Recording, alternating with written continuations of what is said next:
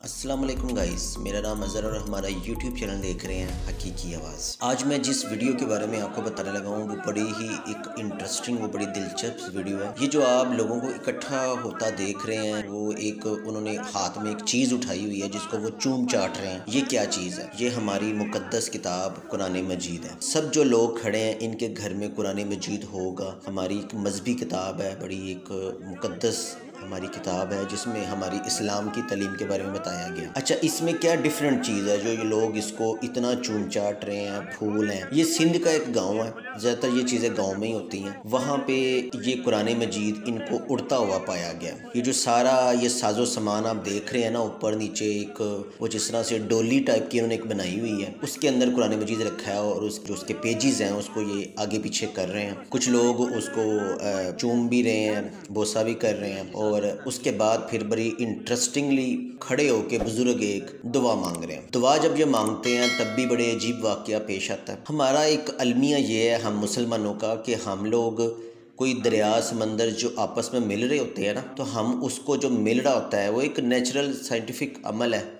उसके पीछे तलावत लगा देते हैं। एक मोटरसाइकिल जा रही है, उसका एक्सीडेंट हो गया, उसके पीछे तलावत लगा देते हैं। एक बंदा मर रहा है, वो गिर रहा है, उसके पीछे तलावत लगा देते हैं। ये सारा अपनी वीडियो को प्रमोट करने के लिए किया जाता है। लेकिन इन्होंने क्या वीडियो को प्रमोट करना? इन्होंने एक प्रॉपर धंधा चमका रहे हैं ये लोग। आप देखें उसके साथ ये जो दिखा रहे हैं आपको, ये पैसे पड़े हैं। अब जो इधर आएगा, वो इसके पास पैसे रखेगा। अगर आपने पीके फ़िल्म देखी है, उसमें ये चीज़ बड़ी क्लियर कट नज़र आती है, जो मज़ारों में वो जो मंदिर के बाहर होता है। अब इसके ऊपर दवा मांग के रो रहे हैं। इन सबके घर में कुरान मजीद है। यार, जाके उसको पढ़ो। जो हम के ऊपर फ़र्ज़ नमाज़ की गई है, पाँच वक्त की नमाज़ तो पढ़ो एटलीस्ट इस तरह के कामों के पीछे भागना ये तो वो साहब है कि एक बंदे ने सारी ज़िंदगी नमाज़ ना पढ़ी और वो उम्र और हज पे चला जाए और कहे, मुझे तो अल्लाह ने बुलाया। पता नहीं किसके पीछे क्या मसलत है। अल्लाह पाक की ज़ात हमारे इमालों को, जो हमारे बड़े गंदे हैं, उसको माफ़ फरमाए। अब ये जिस तरह से इसको कर रहे हैं, ये कुरान मजीद को, ये बेसिकली तो कुरान मजीद ही है ना। आप घर जाएँ, उसको पढ़ें, आप उसको मकसद को, उसके मतलब को समझें। ये जाहलीत करके ये इतने लोग इकट्ठे होके वीडियो बना रहे हैं। यार, वो कुरान मजीद है ये उड़ के आया ना,